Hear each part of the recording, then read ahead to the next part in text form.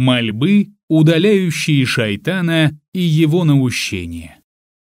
Обращение к Аллаху с мольбой о защите от шайтана. В Коране сказано «Рабби а'удhu бика мин хамазати шаятин, ва бика рабби ан.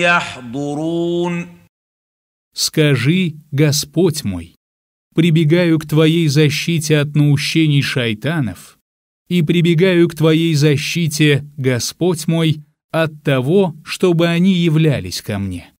Сура верующие, аяты 97-98. Слова Азана. Передают, что пророк, мир ему и благословение Аллаха, сказал, «Поистине услышав призыв на молитву, шайтан убегает, шумом испуская ветры, чтобы не слышать, как его возглашают.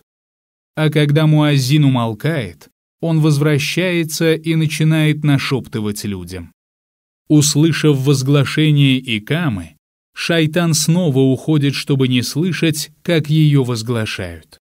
А когда муаззин умолкает, он возвращается и снова начинает нашептывать людям. Слова поминания Аллаха и чтение Корана. Передают, что посланник Аллаха, да благословит его Аллах и приветствует, сказал, «Не превращайте свои дома в кладбище, то есть не уподобляйте свои дома кладбищем, где не совершаются молитвы. Поистине шайтан убегает от такого дома, в котором читается сура корова.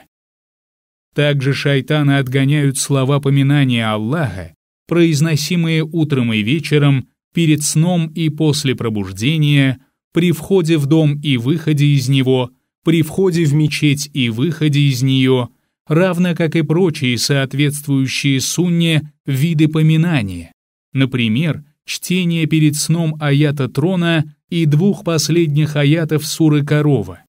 А тому, кто сто раз скажет «Ля иляха иллаллах, вахдаху ля шарика ля, лахуль мульку ва лахуль хамду ва хуа аля кулли шейин кадир».